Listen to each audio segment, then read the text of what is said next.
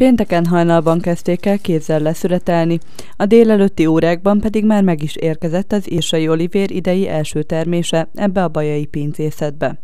Antal Attila ügyvezető rögtön neki is állt összeszerelni a bogyózót, és kezdődhetett is a munka. A borász elmondta, egy kilogramm szőlőből körülbelül 5-6 deciliter bor készül, de ez természetesen több tényezőtől is függ. Elkezdtük a születet az Ilsai Olivérrel.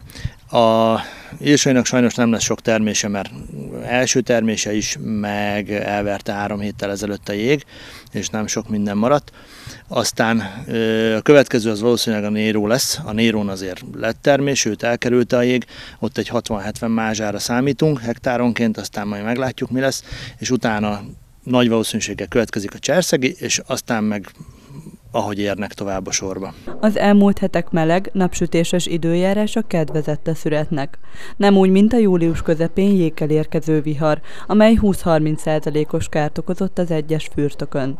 A megmaradt 10 mázsányi írsai olivérből például nagyjából 7 hektoliter készülhet majd csak el ennek következtében és ők még a szerencsésebbek közé tartoznak, hiszen volt, ahol 60-70 százalékot, vagy akár a teljes termést elpusztította a vihar, folytatta az ügyvezető.